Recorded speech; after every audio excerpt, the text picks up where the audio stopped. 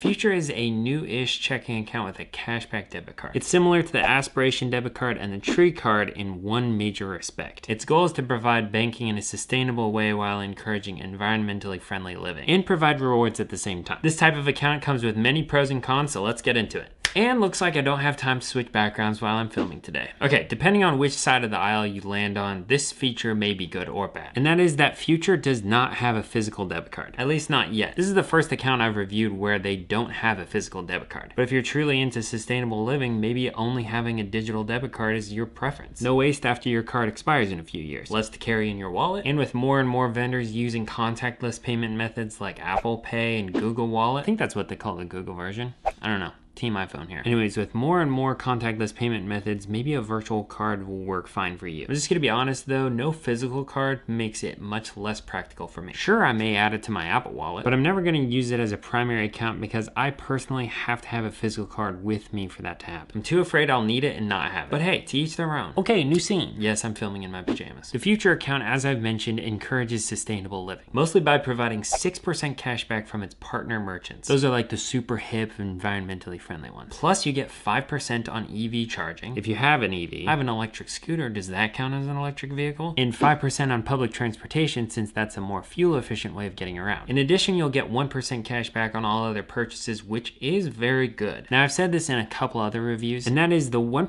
cashback is great, but the rest of the cashback is pretty much useless to me because we don't have an electric car, public transportation is not available for any of the places that I frequent, and companies where higher cashback is provided are simply not places where we tend to shop. Regardless though, 1% goes a long way if you're using it for all your expenses. There's not even a limit to the cashback. Now your cashback is in the form of climate points, which can be redeemed directly in the app. Every 1,000 points is $10 and can be redeemed for $10 credit in the app. You can also redeem your points for other items like Apple Watch, iPhone, and MacBook, and other things like electric scooters, food storage containers, and HelloFresh gift cards. And many of the electronics that you can use points to purchase are actually refurbished. Don't get me wrong, you can get new. But the refurbished items keep with their sustainable living model of reusing and recycling. And speaking of sustainable, there's no significant carbon footprint associated with hitting those like and subscribe buttons down below. So if you like these kinds of reviews, do that because it really helps my channel. New scene. When it comes to deposits and withdrawals, Future probably has the fewest options that I've seen. You got direct deposit and bank transfer in and out. They do also allow you to transfer money from Venmo and Cash App into your Future account. Otherwise, there's not that much more to note. I would guess that if and when they add physical debit cards to their accounts, then you'll be able to also take money out from like